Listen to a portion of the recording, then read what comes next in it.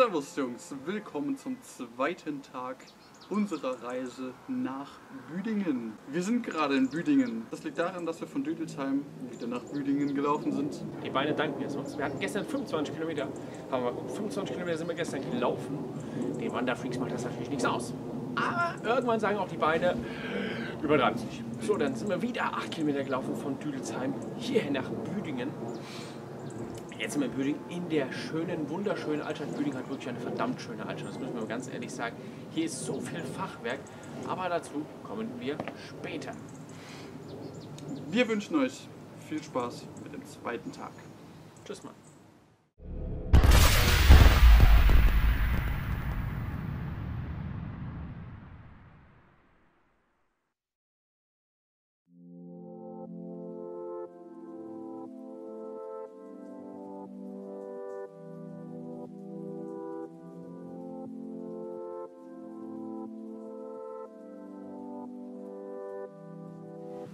Ja, Leute, das ist die Büdinger Altstadt, in dem ja wunderschön gelegen in der Stadt Büdingen, ist ja klar. Jetzt komme ich zu der geografischen Lage. Büdingen befindet sich im Osten in der Wetterau am Fuße des Vogelsberges auf 160 Metern Höhe über normal Null.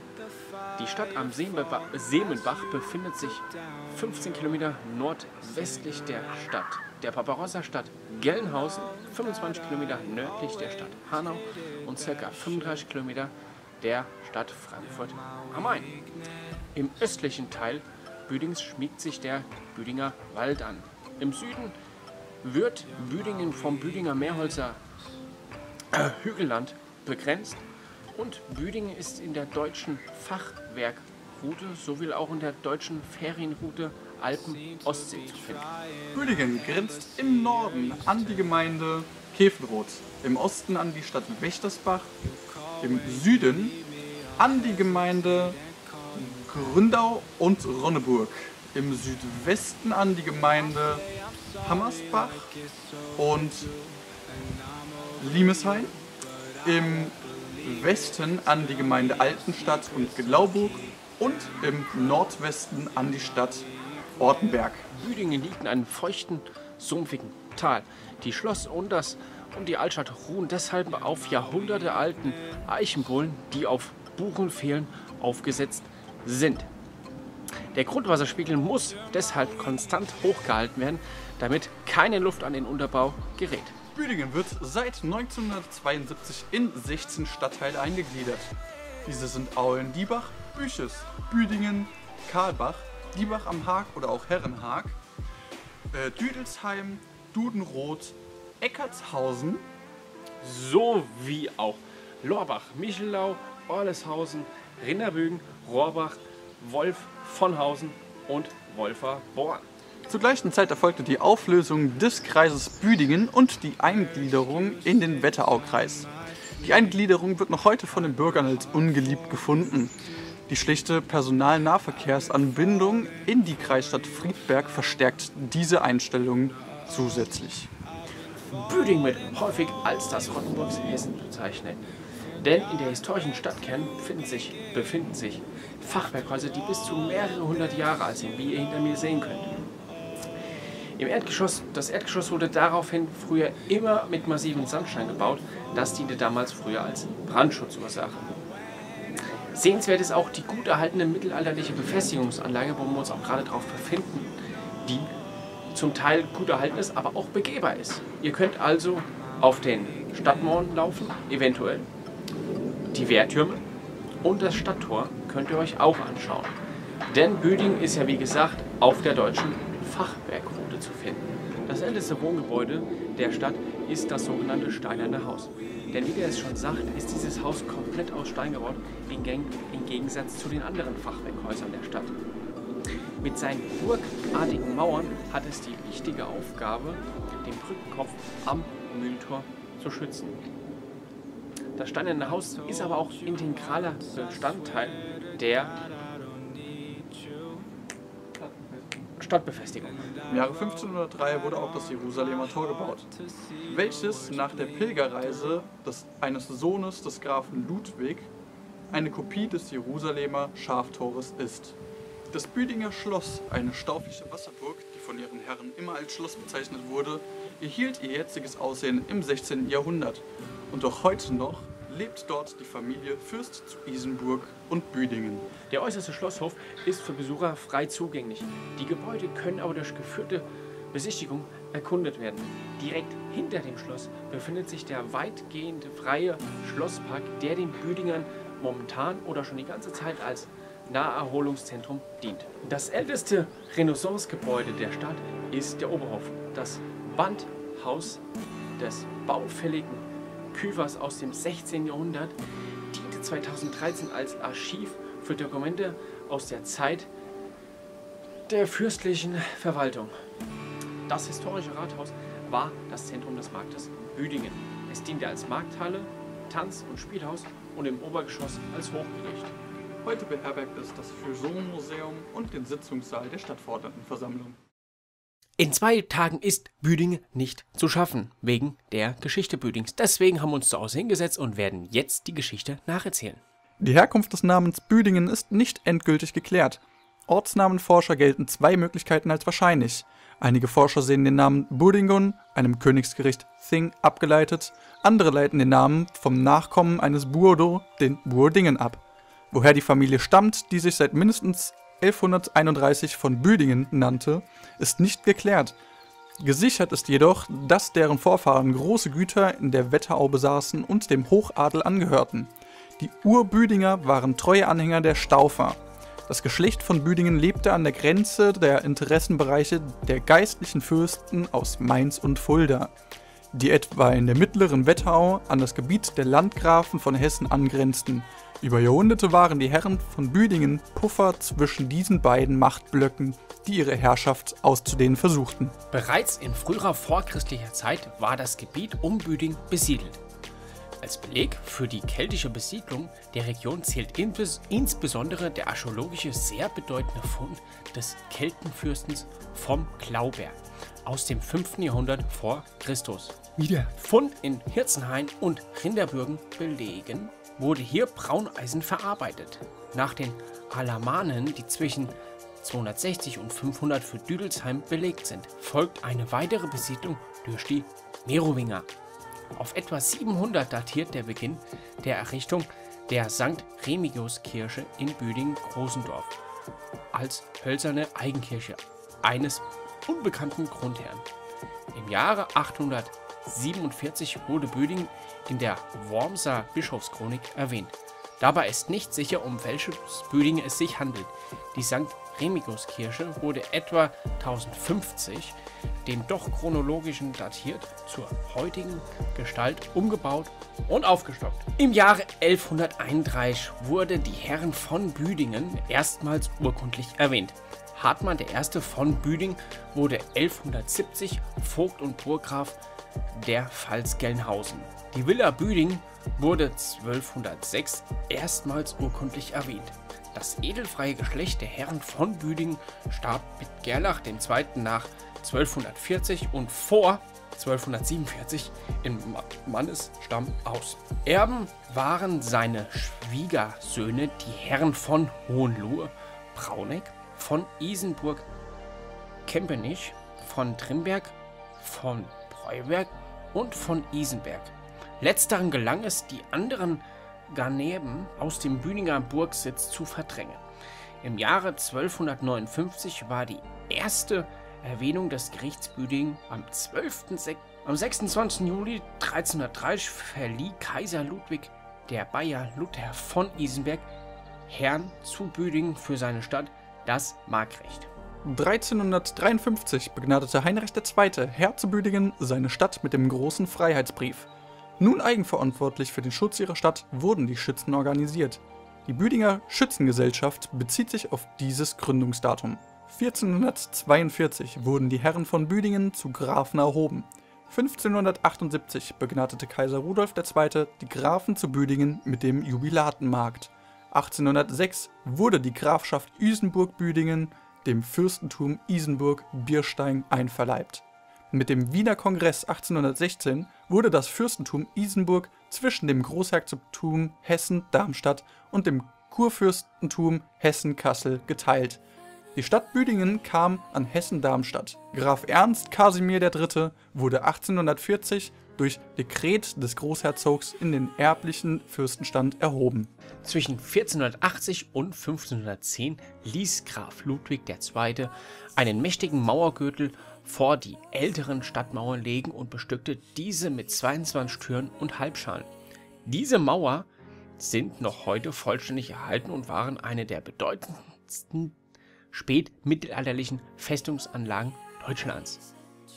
Nach dem Wormser Reichstag vom 1521 kam Martin Luther auf seinen Weg in sein Eisenacher Exil durch das Büdinger Land und fand im Hause Isenberg Bewirtung. Zumindest wird das vermutet, da die Herrschaft von Büdingen und Germas dem Grundsatz Cirius Regio Eos Religio auch ihre Bürger schon im gleichen Jahr zum evangelischen Glauben konvertierten. Mit Fortschreiten der Reformbewertung in Deutschland wurde die Stadt später calvinitisch. 1576 raffte die Pest viele Bewohner dahin. 1632 spülte sie erneut in Büdingen. 1590 brannte bei einem Großbrand 48 Wohngebäude nebst Scheunen und Stallungen nieder. 1434 nahmen kaiserliche Truppen, Kroaten, Büdingen ein, vertrieben die Schweden und hausten übel in der Stadt. Verschiedene Bürger kamen ums Leben und viele Häuser brannten nieder. 1601 begründete Graf Wolfgang Ernst die Lateinschule, das heutige Wolfgang-Ernst-Gymnasium. Mit einem Toleranz lud 1712 Graf Ernst Casimir I. zum Bau in Büdingen ein. In der Folge entstand bis 1724 vor dem Untertor Jerusalemer Tor die Vorstadt, in der sich Glaubensflüchtlinge wie Hugenotten, Waldenser und Inspiranten aus anderen Gegenden ansiedelten. 1822 wurden Verwaltung und Justiz im Großherzogtum Hessen-Darmstadt getrennt. Büdingen wurde Sitz des Landgerichtsbezirks Büdingen, aus dem 1852 der Landkreis Büdingen hervorging. Hessen-Darmstadt war 1828 mit Preußen eine Zollunion eingegangen, die jedoch im Handel mit dem an Büdingen grenzenden Kurhessen-Kassel erschwerte. Die Landbevölkerung der Büdinger Provinz verarmte zunehmend und war durch Teuerung, Verbrauchsteuern, Arbeitsmangel, niedrige Löhne, hohe Abgaben, Willkür der Polizei und der Verwaltung verärgert. Um aufkeimende Unruhen vorzubeugen, verlegte die hessische Regierung zum Schutze ihrer Interessen ein Militärkommando nach Büdingen, das bald eine Stärke von 60 Mann erreichte. 1830 gab es in Büdingen Zollunruhen.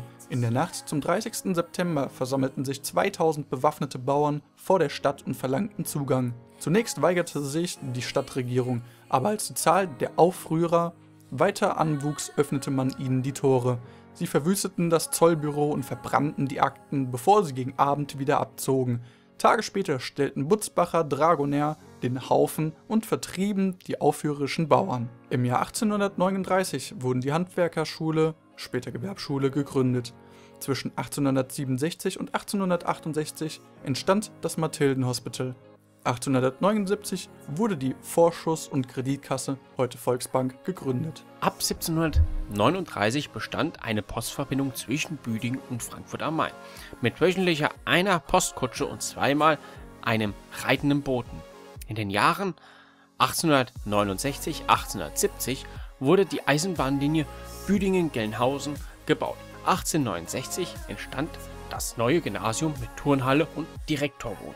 Zwischen 1888 und 1895 baute die Stadt eine Wasserleitung und begann mit einer Teilkanalisierung. 1910 wurde das staatliche Gaswerk errichtet. 1913 erhielt Büding elektrisches Licht. 1911 wurde in der Brunostraße die neue Volksschule erbaut. Die Gründung der landwirtschaftlichen Bezugs- und Absatzgenossenschaft erfolgte 1920 1965 wurde das Bürgerhaus mit Stadtbücherei eingeweiht. Ab 1936 wurde Büdingen Garnisonstadt. Die Krüger-Kaserne wurde errichtet. Dort waren das Maschinengewehr Bataillon 3, die Panzerabwehrabteilung 15 und während des Zweiten Weltkrieges die Panzerabwehrersatzabteilung 9 untergebracht. Von 1945 bis 2007 wurde die Kaserne als Armstrong Barracks von verschiedenen amerikanischen Einheiten der United States Army wie der 3. US-Panzerdivision genutzt. Als letzte Einheit verließ Mitte 2007 das 1. Bataillon des 1. Kavallerieregiments Hanau des VUS Korps mit rund 620 Soldaten und mehr als 900 Familienangehörigen Büdingen. Während der Flüchtlingskrise in Europa ab 2015 wurde beschlossen, einen Teil der ehemaligen Kaserne als eine der größten hessischen Erstaufnahmeeinrichtungen zu nutzen. Bis März 2016 nahm Büdingen knapp 800 Flüchtlinge auf. Jo Leute,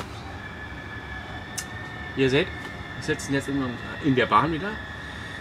Das heißt, unsere Tour Büdingen hat sich somit zum Ende geneigt. Ja. Jetzt gibt es folgendes zu sagen. Wir hatten zwei Tage Büdingen dann gehabt.